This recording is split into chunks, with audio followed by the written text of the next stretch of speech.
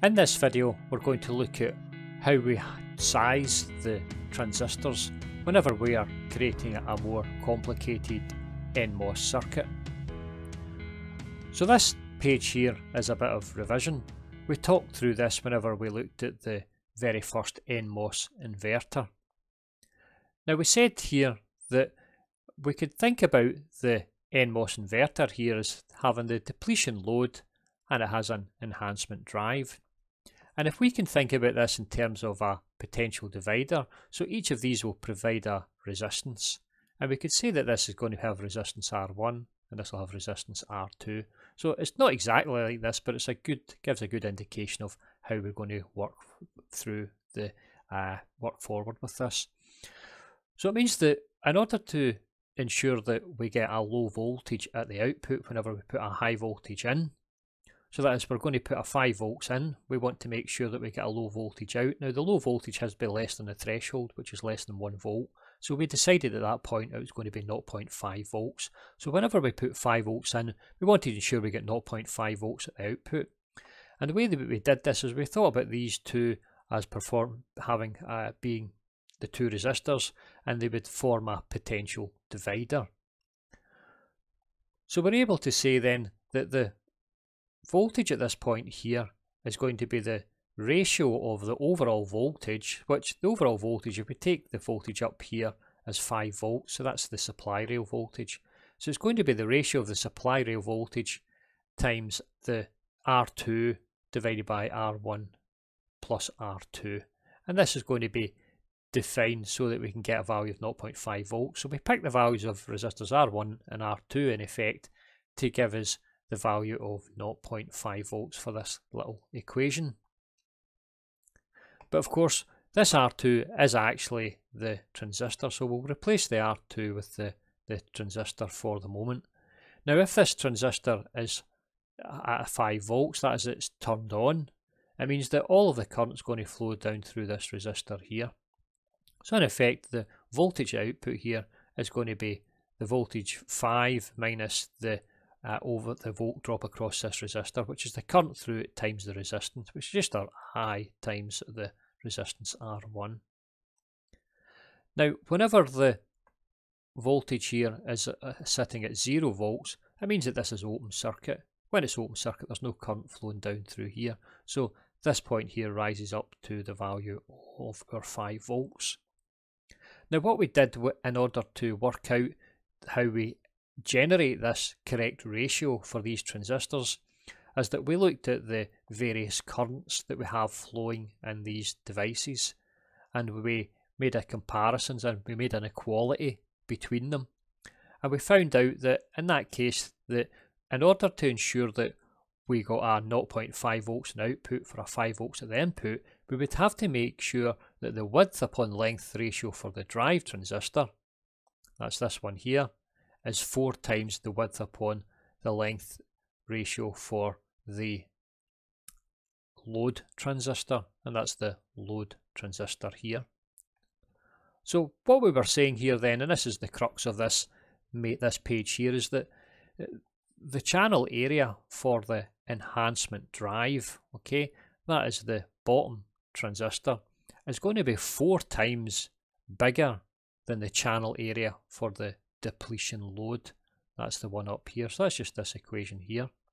But we must ensure that this ratio is kept in order to provide that low voltage of 0.5 volts on the output whenever the input goes to the high voltage of 5 volts. So how are we going to do that? So for example, if we decided to create a NAND gate for this, it would mean that we would have another transistor on the bottom so let's have a little look and we'll see how we're going to ensure that we keep the ratios of the areas the value of 4 to 1. So let's consider the NAND gate here. We've got our depletion load and we've got our enhancement drive transistors. So we've seen that in the case for the simple inverter that if we wanted to bring this down to 0.5 volts, in order to do that, we would have to ensure that there was a ratio between these transistors here, so the top transistor and in effect the bottom chain of transistors, so that would be ratio 1 to 4. But we don't have just this one transistor which is going to be 4 times bigger. We've actually got two transistors. So instead of the each of these transistors being two, 4 times bigger, we're going to have each of them is going to have to be 2 times bigger and that would have to be 2 times bigger. And you can see this here. If we were to look at this transistor here, then we would have the width of the transistor. And we would also have the length of the transistor here across the drain source. So in effect that's this little area in here. But that would mean the second transistor would have this little area here. So that's our width upon length. But that's equivalent to having just one transistor, where the width is the same, but the length is twice the value. So this is the, an equivalent setup here. So we're actually going to have, in this instance here, these two transistors are equivalent to this one transistor, but the length here has increased by 2. So if we were to look at this, we could say that if we were looking at it in terms of just the inverter, which is the single transistor, we would say that the width upon length for the drive, so this is the drive down here, is going to be greater than equal to 4 times the width of the upon length of the load. That's the load up here. Now, we've got this value here for 4 because we've decided on a, the output is 0.5 volts, but we might want something else, say 0.2 or 1 or some other voltage. So just to generalize it, rather than using the 4, we'll just use uh, beta R. Okay, so this is just the, the ratio of these transistor areas. So it means that the effective width upon length is actually this width here upon 2L. Or if we had three transistors, it would be the width upon 3L if it was 4 transistors, it would be width upon 4L. So this is the effective width upon length. I've just called this W upon L effective. So as I said, that if we had the two transistors in series here, we would have to ensure that the overall width upon length is 2 times the effective width upon length. And if it was 3 times, it would be 3 times width of the effective width upon length. If it was n times, it would be n times the effective width upon length. Now this here shouldn't say 4, it should say L, so I'll just scrub that out just now and I'll put it in. So that's L. So it's best seen by example, so let's go and we'll do an example of using this and you'll see it's quite straightforward. Let's look at this example here. We said that for a simple inverter, we wanted the drive transistor to the load transistor ratio to be a value of 4 to 1. So I've got this drawn down here. Let's imagine we looked at the area of this transistor here. Then we could say that this is the width here in this direction and this is the length. So that's the length of the channel. So let's define this width upon length as a value of 1. Then this here would have to be four times it, and I've actually drawn down four of these. So in effect, we've kept the width the same, but we've made the length four times. Now we would have to keep this same ratio 1 upon 4 for each of the branches here. So in order to do that, we've got two transistors here.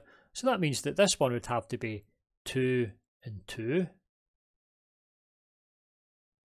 And this one over here, well, we can see that in this branch here, the current's either going to flow down this route here, or it's going to flow down this route here.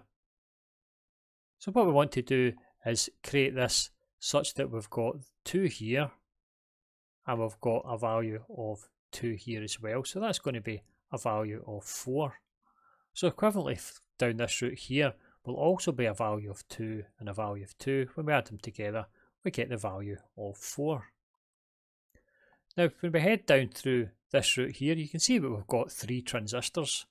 Now, we could use the ratio of 4 upon 3, 4 upon 3 and 4 upon 3 because when you add all those up you end up with 12 upon 3 which is a value of 4. But we don't need to go to that detail, we can still just use the simple values. We could make this a value of 1 and we can make this the value of 1 and we can make this one the value of 2. So the overall value for the area is going to be the same as this effective area here, which will be a value of 4. Now if we look at this branch here, we can split it into two. We can use the exact same ratios that we used in the D branch here. So we could have 1, 1 and 2, so that's going to be a value of 4.